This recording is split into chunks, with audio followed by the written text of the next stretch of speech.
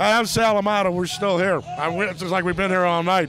And we're at uh, EDM America TV on the south side of Chicago where we're getting ready for a battle of the DJs with DJs. Not, not just, you know, guys playing. They're going to be spinning shit, and you're going to see the action live, man. You're going to see their hand action.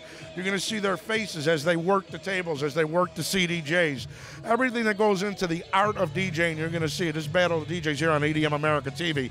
And right now, I'm standing here with DJ Unknown, who's going to be one of the contestants in the battle. DJ Unknown, how you doing, man? I'm doing good, doing good, getting ready. You know, anxious to get on these tables. So hopefully it's soon. You know. So we can show all these people what we do. So how long you been DJing for? Tell everybody how long you been DJing for. I've been DJing since I was 12 years old. So it's like it's like about 45, 50 years or 20 years. Well, let's put it like maybe a little bit like 20 something years. Which was about 110 pounds ago for me. That's cool. Yeah, and maybe a little bit less for me. Yeah, no. yeah but yeah, um, it's been a while, like 20 something years. So you know, I'm not saying I'm be- I'm better than anybody, but you know, we all do our thing.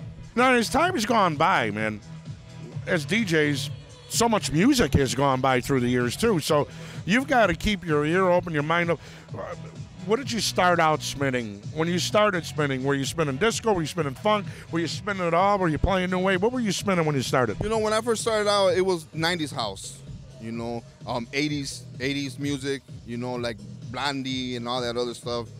Eventually, disco was in my era when I was in the '70s. I was young, but I started like in the '80s. So '80s music, you know.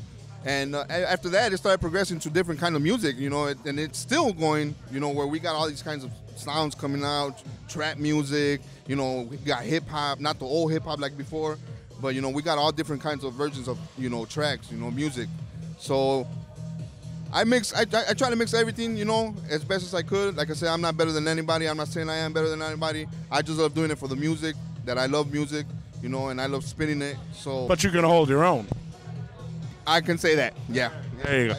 You know, it's interesting you talk hip hop because the thing about EDM is that it's so inclusive. Um, especially now when you when you hear what's going on with Steve Aoki and Linkin Park, and then you think back even in the '90s when uh, Muggs was on tour with Rage Against the Machine, right. how electronics is really inclusive, and now you see how trap is attracting a lot of hip hop guys and a lot of producers. Uh, everybody's a producer now because you got SoundCloud and Mixcloud. So you remix a record and they say, hey, I'm a producer. But it's interesting when you mention hip hop, you know, you're spinning hip, you're spinning hip hop, you're working a club and you're doing hip hop. How hip hop is really becoming part of an electronic scene. Because let's even really think about it. Hip hop was always created with electronics, anyways. Back in the day, other than the Fat Boys doing it with their sound, with their mouth, all that shit was all LinnDrums and drum machines yeah. back then. You know what I'm saying? Yeah, yeah, it sure was. Yeah. You know, now it's a little bit more different. You know, more instruments, more sounds. You know, synthesizers and all these stuff they got.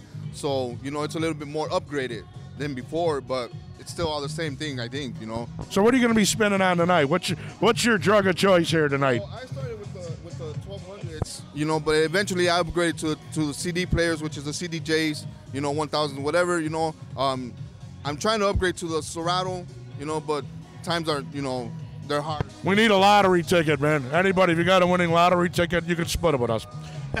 yeah, you know, but I'm gonna spin with the CDJs, and um, I'm gonna spin, with, you know, whatever comes to my mind. I don't put a program together, you know, whatever just comes to my mind. Just let it roll, man. And that's the vibe, and that's what an artist does. You, are feeling it, man. You feel it, and you're in your zone too, right, man? I mean, you get in your zone, man. You're like. When I get into my zone, I, you know, I don't want, I don't like nobody bothering me, you know, coming up to the DJ booth and put this on, put that on you know, because it gets you out of your zone, and then that's when you start messing up. Well, when you're doing a gig, especially if you're hired for a gig, you're hired because of what you do. Oh, yeah. When you walk into a gig and you say, "Okay, I want you to do this," okay, well then why did you call me? Why did you pay me? Well, I mean, you know what I do. So you want me to play Metallica and Pantera, and you want me to follow it up with Ignition by R. Kelly? Okay, how do you want that to go? Right, right, yeah. I mean, uh, mobile mobile DJing is different than club DJing. You know, I mean, mobile DJing, you, they can ask you whatever you want, they want to hear, and you can throw it on there, you know. But when it comes to the club, you come to the club, it's not a jukebox. Different events, different purposes. Exactly, you know, and you know, but I mean, you try to please the crowd. That's the that's what we do, you know. I mean, some of us DJs do, you know. I put the music that they want to hear. Now, as I've asked everybody else, we all have a little guilty pleasure that we listen to. I mean, in reality and on, in all honesty, I'm a disco freak and an R&B freak. I mean, if it's Tower and Power, Earth, Wind and Fire, Isley Brothers, Curtis Mayfield, I'm there. That's my favorite shit. I love everything, but my soul and my heart is always in blues and R&B, and I mean blues. You know, I mean, a big freak for blues, disco, which are weird combinations. You know, what's your guilty pleasure, man? What are you into that nobody would ever think? My thing is trance music. I love trance music. Armin van Buuren, Tiesto, you know, um, Ferry Corsten, all these other DJs, you know, that I've seen. That's my motivation there. You know, I love spinning trance. You know, house. You know, from downtown. You know, all the new stuff. You know, but mostly it's trance. You know, it's interesting because we have an industry an interview that I did with Ferry Corsten, Spring Awakening Music Festival last year. I interviewed Ferry, and trance. You know, when you're listening to trance, if you remember, they used to call it Dream House Yes. in the late '90s before it became trance. Yeah.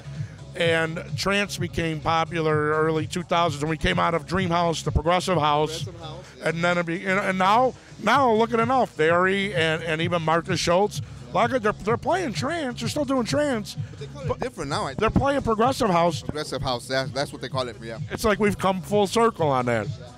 All right, I'm here with DJ Unknown. I'm Sal Amato with EDM America TV at a battle of the DJs here in the south side of Chicago. We're about to do it right.